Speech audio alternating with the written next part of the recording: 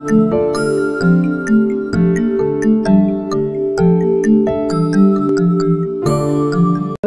वाला समय तकनीकी का ही है। टेक्नोलॉजी के बिना हम आने वाले फ्यूचर की कल्पना नहीं कर सकती। और हम देखेंगे कि धीरे धीरे जो हमारे बस्ते हैं, बच्चों के पास जो बस्ते हैं, वो कम नमस्कार दोस्तों, मैं सुरेश कुमार, टेक्नोशाला फाउंडेशन की ओर से आप सभी का हार्दिक स्वागत करता हूँ, अभिनंदन करता हूँ। अभी आप देख रहे हैं डिजिटल टीचर की कहानी नामक शो।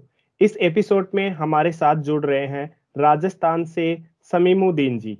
समीमुद्दीन जी अभी राजकीय उच्च माध्यमिक विद्यालय हंतरा, नदबई, भरतपुर ज़िले में एक वरिष्ठ शिक्षक के पद पर कार्यरत है। तो आइए जानते हैं समीमुद्दीन जी ने किस तरीके से शिक्षा कार्य में टेक्नोलॉजी का इस्तेमाल किया है। नमस्ते सर, कैसे हैं आप? नमस्ते सर, बहुत अच्छे सर। तो सर बातचीत शुरू करने से पहले हम एक एक्टिविटी करते हैं। एक्टिविटी में मैं आपसे कुछ सवाल पूछूँगा और उन सवालों का आपको फटाफट जवाब देना है।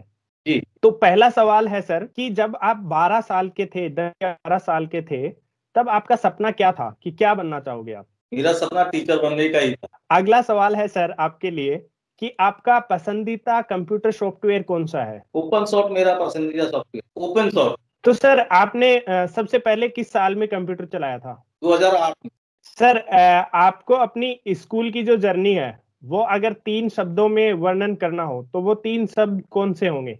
पुराने से नए की हो। सर आप आजकल इन दिनों में क्या सीख रहे हैं? इस समय हम नए मॉड्यूल बना रहे हैं खुद सीख रहे हैं टीचरों को सिखा रहे हैं। सर आपके पसंदीदा शिक्षक कौन रहे हैं? श्री छतर सिंह जी जो रिटायर्ड हो गए हैं। आप अगर अपनी ज़िंदगी के लिए किसी को धन्यवाद बोलना चाहेंगे तो किसको धन्यवाद बोलना चाहेंगे? जी मेरी पत्नी को। ठीक है सर अभी बातचीत की तरफ़ आगे बढ़ते हैं। तो सर हम जानना चाहेंगे सबसे पहले आपसे कि आपकी प्रारंभिक शिक्षा पारिवारिक पृष्ठभूमि और एक अध्यापक का सफ़र जो है वो किस तरीके से रहा? मेरा जन्म उन्नीस सौ इकहत्तर में भरतपुर ज़िले से 12 किलोमीटर दूर खेमरा कला गाँव में एक गरीब परिवार, मुस्लिम परिवार में हुआ। मेरी प्रारंभिक शिक्षा गाँव में ही हुई, एक से पाँच तक। छह से आठ तक की मेरी शिक्षा हाँ तीन किलोमीटर दूर एकरण गाँव में हुई, जहाँ पर आज विश्व प्रसिद्ध अपना घर स्थित है। वहाँ पर हम लोग पैदल ही जाया करते थे। उसके बाद उच्च माध्यमिक शिक्षा जिला मुख्यालय भरतपुर भरतपुर पर हुई। और कॉलेज शिक्षा मेरी भरतपुर में एमएससी कॉलेज में प्राइवेट छात्र के रूप में हुई। उसके बाद में एस और बीएड मेरी सरकारी स्कूलों में ही हुई। मेरी पूरी शिक्षा सरकारी स्कूलों से प्राप्त है। उन्नीस दस जनवरी उन्नीस सौ छियानवे को मेरा पहला पदस्थापन टीचर के रूप में हुआ लेवल थर्ड के रूप में। उसके बाद चौबीस बीस साल बाद मेरा प्रमोशन होकर के मैं वरिष्ठ अध्यापक के रूप में राजकीय उच्च माध्यमिक विद्यालय हंतरा में आया। मेरी पहली पोस्टिंग राजकीय प्राथमिक विद्यालय धनबाड़ा, कुम्हेर में हुई। रिपोस्टिंग मेरी राजकीय उच्च प्राथमिक विद्यालय, दौलतगढ़ रूपवास में। और एडजस्टमेंट के रूप में मैं राजकीय उच्च माध्यमिक विद्यालय मढ़ेरा रूपवास में ही रहा। तो करीबन बाईस साल की नौकरी मेरी रूपवास तहसील में हुई। विगत दो वर्षों से मैं नदवई तहसील के राजकीय उच्च माध्यमिक विद्यालय में कार्यरत हूँ। अंग्रेज़ी के वरिष्ठ अध्यापक के रूप में। उन्नीस सौ छियानवे में आ, मैंने शिक्षक के रूप में शिक्षा विभाग में ज्वाइनिंग किया था और तब से लगातार अभी शिक्षा विभाग में ही कार्यरत तो आ, सर जब उन्नीस में आपने एज ए शिक्षक के रूप में पढ़ाना शुरू किया था और अभी भी आप बच्चों को पढ़ा रहे हैं तो पढ़ाने के तरीके में क्या बदलाव नज़र आपको आ रहा है और इस बदलाव के पीछे क्या कारण आपको आ, समझ आ रहे हैं। यदि हम फौरी तौर पर देखें तो उन्नीस सौ छियानवे में जब हमने शिक्षा में प्रवेश किया था शिक्षक के रूप में, उस समय हमारे पास पुराने मेथड थे, द्वारा हम ब्लैक बोर्ड से पढ़ाया करते थे। और आज यदि हम देखते हैं तो उसमें कहीं ना कहीं बहुत परिवर्तन है। आज हमारे पास तकनीकी का युग है। और यदि मैं दूसरे शब्दों में कहूँ, यदि हमारे पास इस समय तकनीकी नहीं है तो हम संपूर्ण नहीं हैं। उन्नीस से और उन्नीस सौ सॉरी 2008 तक हम लगातार पुराने मेथड से ही अध्यापन कराते रहे। 2008 में पहली बार मैंने कंप्यूटर का प्रयोग किया। तो मेरे दिमाग में आया कि क्यों नहीं इस विधा का प्रयोग हम बच्चों के लिए करें। क्योंकि उस समय संसाधन भी काफ़ी कम थे। विद्यालयों में भी हमारे संसाधन नहीं थे। यदि थे तो बहुत पुराने थे। मोबाइल भी उस समय नहीं था। तो वो हमारी मजबूरी ये थी कि हमें पुराने संसाधनों से ही पढ़ाना पड़ता था। और जो प्रकृति में मौजूद था, उसी को इकट्ठा करके हम पढ़ाते थे। लेकिन जैसे ही तकनीकी का युग प्रारंभ हुआ तो हमने देखा कि वो सारी चीज़ें काफ़ी आज की दौर में हमें और लगने लगी हैं। हम देखते हैं कि हमारे पास इतने बढ़िया संस्थान, हम उनसे बच्चों को घर बैठे भी हम शिक्षा दे सकते हैं। क्लासरूम का आज नज़ारा बदल गया है। उस समय जो नज़ारा था, वो ब्लैक बोर्ड पर टीचर पढ़ाया करता था और उसके बाद उसको साफ़ कर दिया करता था। आज तकनीकी के उसमें वो ज्ञान है स्थायी हो गया है। यदि हम उसको चाहें, दस दिन बाद भी उसको रिपीट कर सकते हैं। तो पुराने मेथड में और आज वर्तमान के मेथड में स्थायित्व आया है। उस समय सिर्फ़ एक हम कहें कि रटने की एक कला थी कि रट छात्र रटते थे और अध्यापक अध्यापक केंद्रित शिक्षा थी उस समय। आज शिक्षा का विकेंद्रीकरण हुआ है। शिक्षक एक मार्गदर्शन के रूप में है। वो बच्चों को एक मार्गदर्शन देता है कि आपको किधर जाना है। तो यहाँ पर हम देखते हैं कि पुरानी शिक्षा में जो अध्यापक केंद्र थी केंद्र थी, आज वो बालक केंद्रित तो हुई है। तो ये बहुत बड़ा परिवर्तन पुराने और आज की शिक्षा में आया। जी, सर। तो सर आपने पाठ्य विषय वस्तु को सरल और प्रभावी बनाने के लिए किस तरीके के कार्य किए हैं?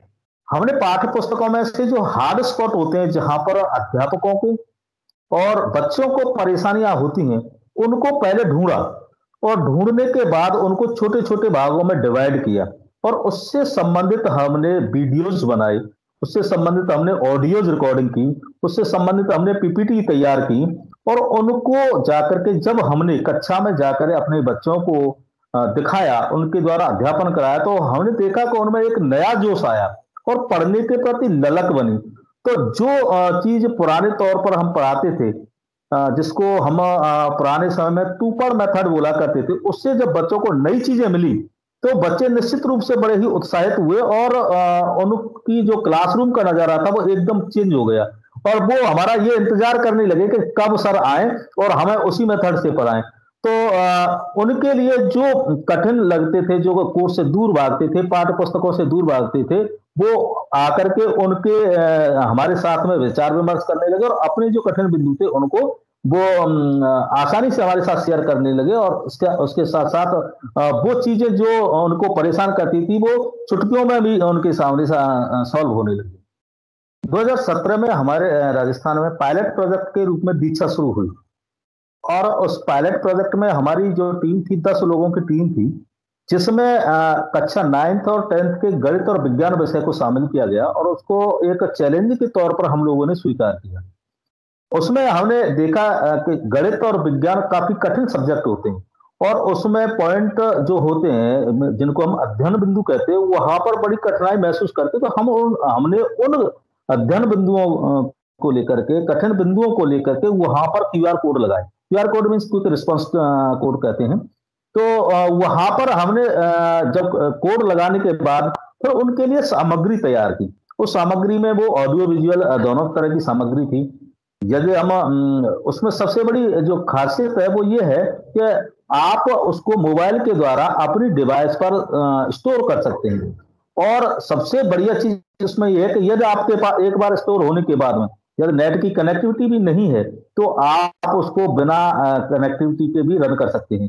तो वहाँ पर जब हमने उसके लिए वीडियोज़ बनाए वीडियोज़ ऑडियोज बनाए और पीपीटी क्लिप बनाए और उनको हमने उन किताबों में सबमिट कर दिया। तो राजस्थान ऐसा पांचवा राज्य था, जिसने बहुत ही कम समय में इनको जो हमारे क्यू आर कोड है, उनको तैयार किया, तैयार करने के बाद किताबों में किया और उनको लाइव कर दिया। जब बच्चों ने उन किताबों में उन क्यू आर कोड को देख करके शिक्षकों की सहायता से जब उनको स्कैन किया तो उनको एक नई चीज़ मिली और वो काफ़ी उत्साहित हुए क्योंकि जहाँ बोरिंग किताबें थी, गणित को बोरिंग सब्जेक्ट माना जाता है तो जब उन्होंने उसको स्कैन करके देखा तो उसमें वीडियो भी चल रहे थे, उसमें आवाज़ भी आ रही थी तो उनको उनका हमें काफ़ी अच्छा रेस्पॉन्स मिला और धीरे धीरे करके ये सारी जो क्यू आर कोड हैं, वो एक से दस तक की सभी किताबों में हम लोगों ने लगाए। उसमें से बहुत जो किताबें हमारी लाइव हो चुकी हैं, जिनमें बच्चे पढ़ रहे हैं। और हालाँकि अब स्थिति ये है कि कई कोर्स हमारे चेंज हो गए हैं। किताबें हमारी एनसीईआरटी के पैटर्न पर हो गई हैं तो उनमें पहले से ही कोड लगे हुए हैं। लेकिन जो किताबें अभी भी हैं, उनमें क्यू आर कोड लगे हुए हैं, बच्चे उनसे पढ़ रहे हैं उनके बहुत अच्छे परिणाम आ रहे हैं। और वो परिणाम ही हमें उत्साहित कर रहे हैं कि हम और आगे से आगे ज़्यादा काम करें। तो हम लगातार उस मिशन पर लगे हुए हैं। हमारी टीम उस मिशन पर लगी हुई है और उनके लिए लगातार हम कंटेंट बना रहे हैं। उनको रिव्यू भी कर रहे हैं और लाइव भी कर रहे हैं। तो सर आप अपनी कक्षा में बच्चों को पढ़ाते समय किस तरीके की टेक्नोलॉजी का इस्तेमाल करते हैं? या टेक्नोलॉजी आपके शिक्षण कार्य में कैसे भूमिका निभाती है? कक्षा में पढ़ाते समय हमारे विद्यालय में लैब स्थापित है। बच्चों को वहाँ ले जाकर के कंप्यूटर के माध्यम से हम पढ़ाते हैं और इसके साथ साथ हमारा जो स्मार्ट बोर्ड है, उसका भी हम प्रयोग करते हैं। और प्रोजेक्टर हमारे पास है, प्रोजेक्टर का भी हम प्रयोग करते हैं। हालाँकि प्रोजेक्टर का उपयोग अब सीमित हो गया है, क्योंकि तो विद्यालयों में काफ़ी बड़ी बड़ी एलईडी हमारे पास हैं। तो हमारी जो स्लाइड्स हैं, उनको हम पेन ड्राइव में लेकर के उन एलईडी पर, जब उनको दिखाते हैं तो उनका जो तस्वीर है, उनकी जो ऑडियोज हैं वीडियोज़ है, वो ज़्यादा क्रिस्टल क्लियर होते हैं, बजाय हमारे प्रोजेक्टर के। इसके साथ साथ हमारे मोबाइल का भी हम प्रयोग करते हैं। हालाँकि बीच में कुछ समय सरकार ने मोबाइल का प्रयोग प्रतिबंधित कर दिया था, लेकिन जब देखा कि मोबाइल का प्रयोग हमारे शिक्षण के लिए बहुत ज़्यादा प्रभावी है तो इस शर्त के साथ उन्होंने उसको अलाउ कर दिया कि भाई आप क्लासों में जाकर के इनका प्रयोग सिर्फ़ पढ़ाने के लिए करेंगे। तो हम उन मोबाइल्स के द्वारा भी हम हमारा प्रयोग करते हैं। क्यू आर कोड को स्कैन करते हैं वो क्लासों में जाकर। इसके साथ साथ अपनी खुद की चार पाँच ऐप भी हम लोगों ने बनाई हैं, जिसमें टेक्स्ट टू स्पीच हमारा बहुत अच्छा ऐप है। ये चारों ऐप हमारे पास अभी ऑन द वे हैं। हम इनको प्ले स्टोर पर लाइव नहीं कर पाए हैं। लेकिन कक्षा में हम इनका जब प्रयोग करते हैं तो उनके बहुत अच्छे परिणाम हमारे पास आ रहे हैं। गणित की जो बेसिक फ़ंक्शन है वो उनके ऊपर भी हमने एक कोड बनाया है, जनरल नॉलेज का भी हमने एक ऐप बनाया है। तो ये सारी जो हमारे सामग्री है उनका प्रयोग हम कक्षा में करते हैं। तो बच्चे बड़े ही चाव से उसको पढ़ते हैं और उनका लाभ लेते हैं। और वैसे मैं आपको बताऊँ कि मैंने कहीं पर भी टेक्नोलॉजी की विधिवत कहीं पर एजुकेशन नहीं ली है। करके और सीखो से मैंने ज़्यादा सीखा है। हमारे पास एक संस्था है, जिसका नाम है UTA universal training teachers academy वहाँ से हमने ऐप बनाने के लिए ट्रेनिंग ली। उन्होंने चार दिन का एक कोर्स कराया था, उसमें हमने ऐप बनाना सीखा। और जहाँ भी हमें कहीं ज़रूरत पड़ती है तो हमारी टीम काफ़ी सशक्त है। राजस्थान में हमारी जो टीम है, उनसे हम बातचीत करते हैं। इसके साथ साथ गूगल बाबा तो है ही, वहाँ से अपन स्टोर कर लेते हैं। वहाँ से भी जानकारी कर लेते हैं। सर, आप अपनी कक्षा में अलग अलग टेक्नोलॉजी का इस्तेमाल करते हैं अलग अलग तरीके से आप नई नई चीज़ें अपनी कक्षा में लेके आते हैं तो आपकी कक्षा की क्या खास बात है कि आपके बच्चों के व्यवहार में कुछ परिवर्तन आपको नज़र आया, सीखने की क्षमता में कुछ परिवर्तन नज़र आया? तो क्या खास बात है? बच्चे खासकर हमारा इंतज़ार करते हैं कि कब सर की क्लास आए और कब आऊँ वहाँ पर तकनीकी के द्वारा से। और जो क्लासें हैं और सब्जेक्ट हैं, उनके सब्जेक्ट से ज़्यादा हमारे सब्जेक्ट का वो इंतज़ार करते हैं, क्योंकि वहाँ पर तकनीकी से वो सीखते हैं तो वो उनके लिए नई सीखने की ललक समय रहती है कि हम कैसे नई चीज़ सीखें। बाकी जो और जो किताबें हैं और जो हमारी पाठ्य पुस्तकें हैं, उनमें अभी पुराने डर्रे से ही चल रहा, कोशिश ये कर रहे हैं कि हमारी जितनी भी पुस्तकें हैं पाठ्य पुस्तकें उन सब में हम तकनीकी का प्रयोग करें, लेकिन उसके लिए हमें अभी काफ़ी काम करना होगा, क्यों, सबसे बड़ी जो समस्या आती है, जो हमारे साथीगण हैं, उनके जो माइंड सेट है, उसको चेंज करने की होती है। जो लोग माइंड सेट चेंज कर लेते हैं, वो तकनीकी को काम में लेना शुरू कर देते बच्चे उनका बड़े ही बेसब्री से इंतज़ार करते हैं। लेकिन अभी भी हमारे कुछ साथी ऐसे हैं, जो अब पुराने डर्रे पर ही हैं और वो नहीं चाहते कि हम कोई नई चीज़ सीखें और वो हमारे लिए कोई परेशानी पैदा करें। क्योंकि नई चीज़ नई चीज़ें प्रयोग करने के लिए कई सारी समस्याओं का सामना करना पड़ता है और वो उससे बचने की कोशिश करते हैं कि नहीं, हमारा तो यहीं पर ठीक है। तो बच्चे जब हम तकनीकी का प्रयोग करते हैं तो हमारी कक्षा में वो इंतज़ार करते हैं कि कौन सी आज हमें नई चीज़ सीखने को मिली। तो सर टेक्नोलॉजी में आपकी दिलचस्पी होने का क्या कारण है? हम देखते थे जब हम कई ऑफिसों में जाते थे तो वहाँ पर कई सारे जो आ, हम कहें दूसरे शब्दों में हमारे बाबू लोग थे वो कंप्यूटर पर काम किया करते थे। तो हम ये देखते थे कि ये लोग कैसे काम करते हैं। हम क्यों नहीं कर सकते इसको? वो चीज़ हमारे लिए भी नहीं थी। आ, मैं आपको विश्वास दिलाऊं कि जब मैंने पहली बार कंप्यूटर खरीदा और खरीदने के बाद घर पर लेकर के आया था मुझे उसकी बिल्कुल नॉलेज नहीं और धीरे धीरे करके मैं लोगों से देखता गया सीखता गया। कंप्यूटर टाइप मेरे पास ऑप्शनल विषय के रूप में रही थी इंग्लिश और हिंदी दोनों ही। तो टाइपिंग में मुझे कोई प्रॉब्लम नहीं हुई लेकिन उसकी जो बेसिक जानकारियाँ थी वो मुझे काफ़ी देर बाद समझ में आई और धीरे धीरे करके आ, हमारा एक सिद्धांत है एजुकेशन में करके सीखना। उसको हम करते गए सीखते गए करते गए सीखते गए कहीं से भी फॉर्मल ट्रेनिंग नहीं ली। बाद में 2009 में आर द्वारा संचालित आर का जो कोर्स था, वो हमने किया। वहाँ से सर्टिफिकेट मिला। हालाँकि वहाँ भी उन्होंने कोई ट्रेनिंग हमें नहीं दी। बीएड किया, वहाँ भी हमारे कंपल्सरी के रूप में कंप्यूटर था, वहाँ भी हमें ट्रेनिंग नहीं मिली। सारी चीज़ें हमें करके सीखी और बाद में हमारे जिला शिक्षा अधिकारी कार्यालय से हमारा नाम प्रपोज किया गया। अजमेर में एक वर्कशॉप हुई थी वहाँ के लिए। वहाँ से हमारे जीवन का टर्निंग पॉइंट आया। दिल्ली यूनिवर्सिटी से वहाँ पर कई सारे प्रोफेसर आए थे, उन्होंने वहाँ पर हमें बताया। तो हमें लगा कि ये तो बहुत अच्छी चीज़ है, और उसके बाद हम जैसे हमने उसमें प्रवेश दिया, उसके बाद पीछे मुड़ करके हमने देखा और लगातार हम आगे बढ़ते चले गए। फिर हमें अपने आप रास्ते मिलते गए कि कहाँ से हमें क्या चीज़ लेनी है, कहाँ से क्या चीज़ नहीं लेनी है। कहीं पर कोई हम लोगों को परेशानी आती है तो हमारे जो टीम के मेंबर हैं, उनसे कंसल्ट कर लेते हैं। इसके साथ वहाँ से भी नहीं हो पाता है तो इंटरनेट पर जाकर के उसका समाधान कर रही सर टेक्नोलॉजी का इस्तेमाल से बच्चों को पढ़ाने में आपको किस तरीके की समस्याओं का सामना करना पड़ा और उन समस्याओं को आपने कैसे समाधान के रूप में आ, उनके हल निकाले? शुरुआत में तो हमारे पास संसाधन नहीं थे। सबसे बड़ी बात तो ये थी कि संसाधन ही उपलब्ध नहीं थे। आ, हमारे पास भी पुराने मोबाइल्स थे डेस्कटॉप कंप्यूटर्स थे इसके साथ साथ हमारे जो स्टाफ के लोग थे, हमारे जो साथी थे, उनके असहयोग का भी हमें सामना करना पड़ा कि क्या नई चीज़ आप लेकर के आ रहे हैं, बच्चे, इनको तो कैसे भी आप पढ़ा लो, बच्चे नहीं पढ़ पाएँगे। और बच्चों के लिए जो नई चीज़ लेकर के आना, वो भी अपने आप में एक चुनौतीपूर्ण कार्य होता है। उनको पता नहीं कि सर क्या नई चीज़ बताने हमारे जा रहे हैं। तो उनको नई फ़ील्ड में लाना ही एक बड़ा, अपने आप में एक चुनौती था। संसाधन मुहैया कराना भी एक चुनौती था। अपने पैसों से हमने फिर संसाधन मुहैया कराए। संस्था प्रधानों से कहा तो उन्होंने कहा कि हमारे पास बजट नहीं है।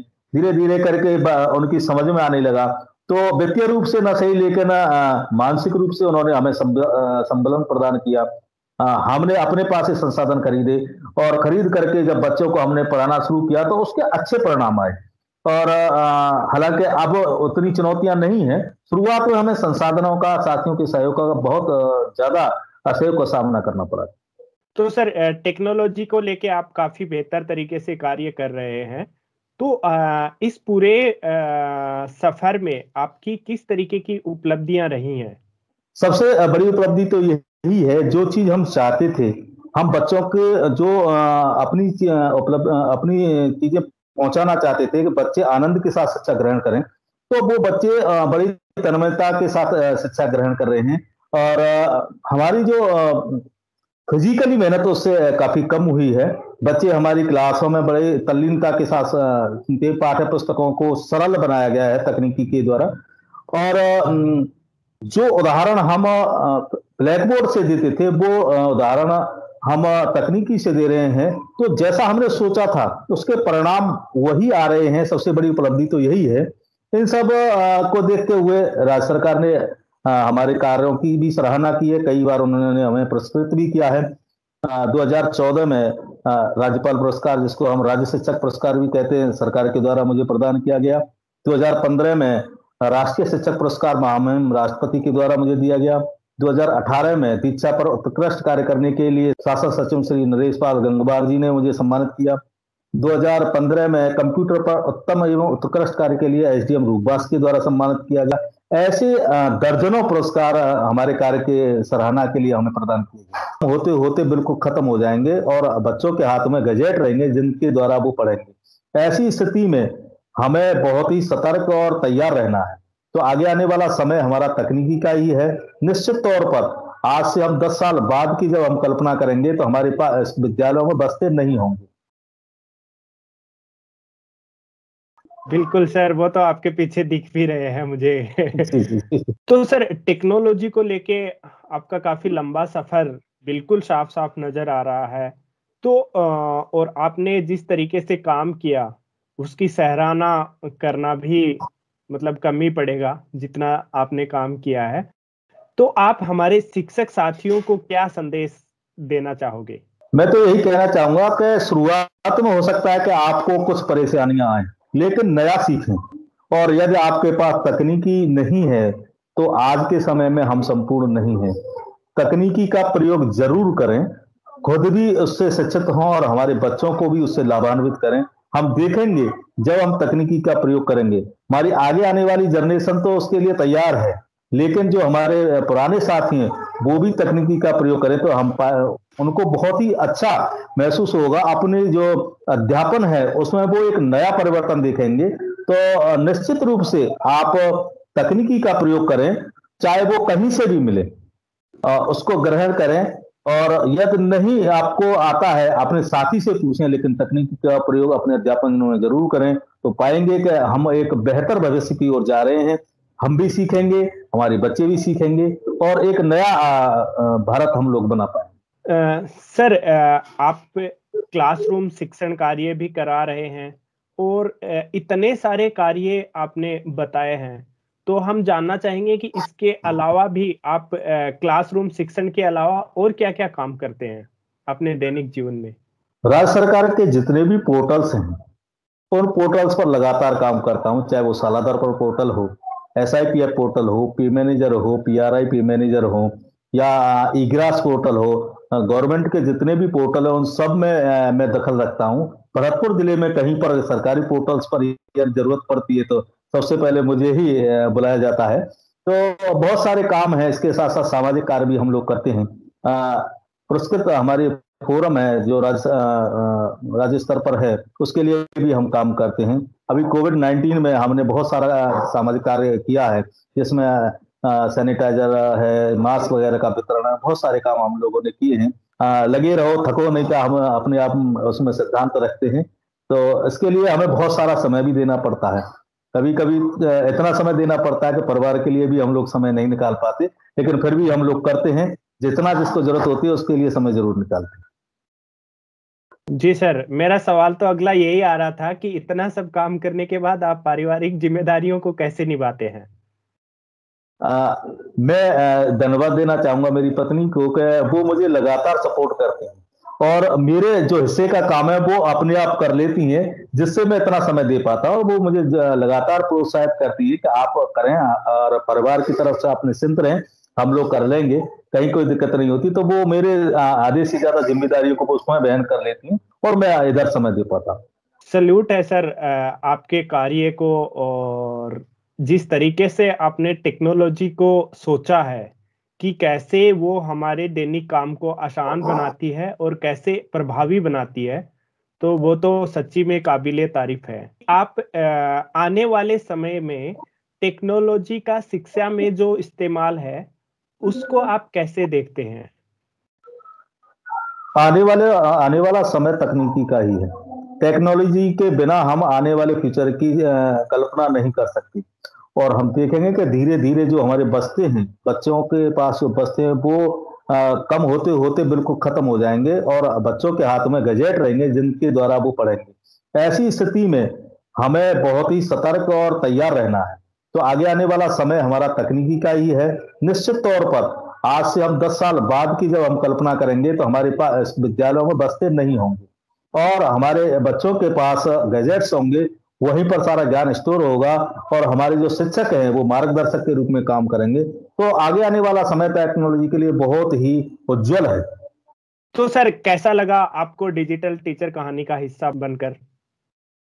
अच्छा लग रहा है कि जो हमारी फीलिंग्स हैं वो आप लोग शेयर करेंगे और हमारे अंदर के जो विचार हैं उनको और लोग देखेंगे।